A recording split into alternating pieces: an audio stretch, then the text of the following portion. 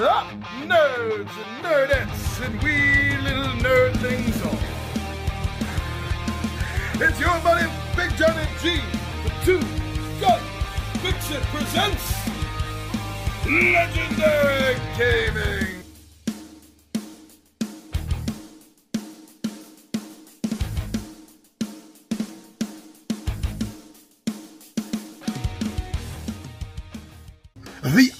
Brings us the newest title in the Rising series. And this Batman Who Laughs Rising. This is by The Op.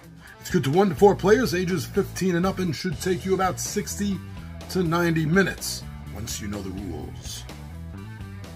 From the DC Dark Knight Metal comic series, the evil hybrid of Batman and Joker, the Batman Who Laughs, is determined to unleash the Dark Knights and Barbatos on Prime. In The Batman Who Laughs Rising, a passage from the Dark Multiverse has allowed the most dangerous evildoers to infiltrate Gotham City.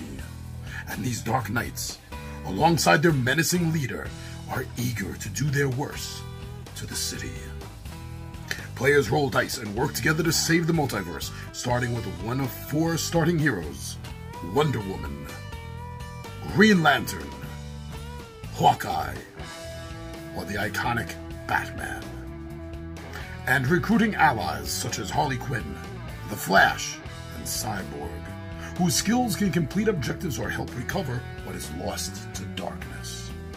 Take out villainous versions of Batman such as the Merciless, the Dawnbreaker, and the Murder Machine before facing off with the psychotic, jokerized antagonist himself, who's represented by a custom sculpted, full color figure who commands a fistful of chained evil robins.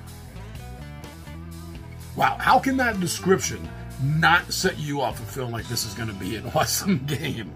Okay, so right, right off the bat, this is part of an ongoing independent series.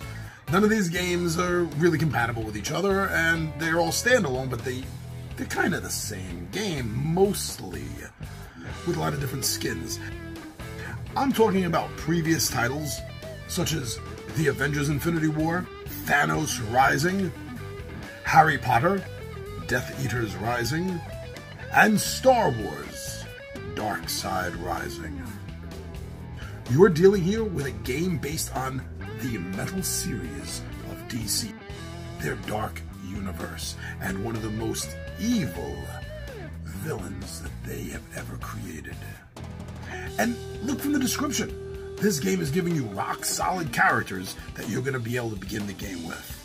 If this is anything like the Avengers game, then these are team unit leaders. But you know, I haven't played the game. That's why it's on my radar and not on a tabletop takeout. this game follows in the footsteps of their previous games, a dice set collection sort of game where you're going to be trying to mix and match results to get the desired results that you want. And this is a really popular series. This is a popular style, even of dice gaming. And since it's based on some of the most well known characters in superhero lore, super villain lore, comic books in general, this has a great base to draw from, just as the Thanos Rising game did. And with the few different tweaks that they add to each game, does make it feel different enough that it's not just a re-skinning.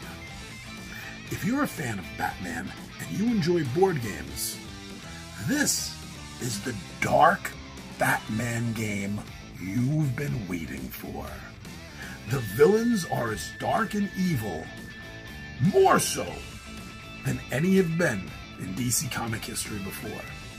And you're going to get a chance to go head to head with them, you and your friends, in this cooperative game. There are so many reasons that this is on my radar, but those right there are the strongest. I think you need to check this game out, because this might be something that you've been looking for.